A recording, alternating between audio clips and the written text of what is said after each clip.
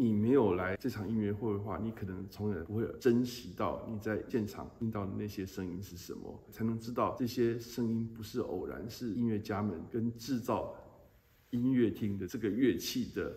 建筑声学专家们花了多少心血去堆积出来的结果？三月十八号这场音乐会呢？因为大概没有人会在一个音乐会当中听到好几种不一样的配置的可能性啊。我们会进行很多声响的实验。那我也再跟各位强调一次，我会故意犯错，而且这次错误是台湾大部分的团体都有可能犯的错误。然后我们再用一个比较好的方式来呈现。或许你还是喜欢原来那个大家传统的那个声音也说不定，但是我可以提供大家更多不一样的答案的。我们把每次的固定的填充题变成一个选择题。我想第一个是表演者，那再来我也希望，例如说是学校的合唱老师啊，或者是乐团老师。那就算你去声乐表演厅以外的场馆演出的时候。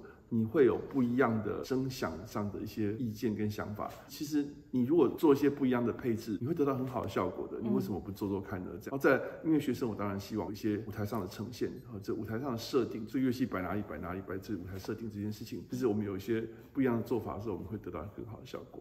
还有一般听众，我真的很希望尤其我希望唱片迷来听听看。而，很多声音有个很细的细节，你没非得在这种好的场馆，否则的话你根本不能听得到。我像成品表演厅这么好的场馆，声响环境被控制到这么好的地步，所以我真的诚挚的希望所有的爱乐的朋友能够来听这两场音乐会。